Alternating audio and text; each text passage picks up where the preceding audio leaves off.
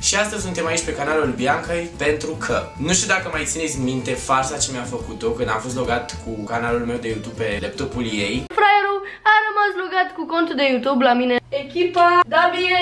Și să-l încarc la el pe canal. Deci nu știu ce dracu să zic, să zic la poliție. Așa că ghiciți ce? Eu sunt acasă la ea și am contul ei de YouTube. Știți ce înseamnă asta? Înseamnă că răzbunare. Pe lângă că voi profita și îmi voi face promovare, dați-mi și voi un follow pe Instagram la Grigore, dați și lui Radu follow pe Instagram Radu Im și dați și lui Teo follow pe Instagram teo.maria cu 2 de i. Îți mulțumim, Bie. A, da, bună, Bianca!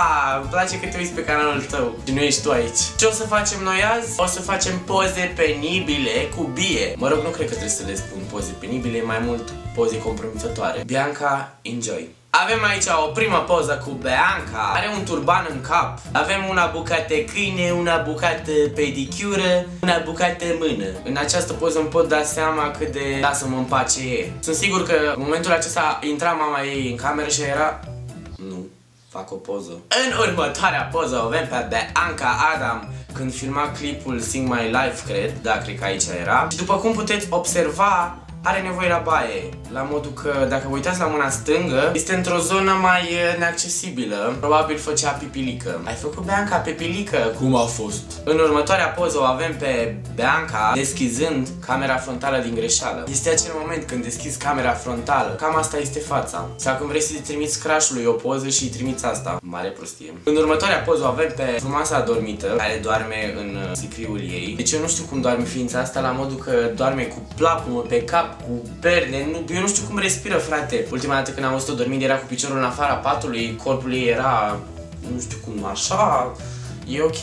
Oh, în următoarea poză avem pe Bianca cumpărându-și ouăle. Cred că sunt ouăle de pași, voia să le vopsească. Și fața ei e așa de prințesică de...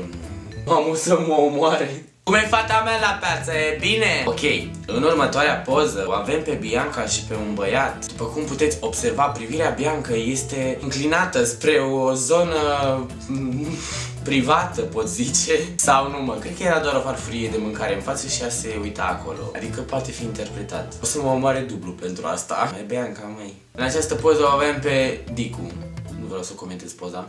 Asta a fost și cu pozele, au fost cam puține data asta, dar o să fac eu un research în calculatorul meu. Dar promit, dacă vă place această serie în care o facem de râs pe Bianca și eventual să vă mai arăt și poze ce nu le postează, o să facem tot pe canalul ei. Apăsați butonul de like ca să știu că v-a plăcut și că nu am făcut degeaba asta. A, da, și Bianca, îți mulțumesc că m-ai lăsat să-ți folosesc canalul, mă rog, tu nu știi asta și probabil acum când te uiți la asta ești foarte șocată, dar răzbunarea e dulce și vreau să te anunț că data viitoare vor fi poze mult mai compromițătoare, așa că să te aștepți la orice. Și mai lasă și tu contul de logat dacă tot...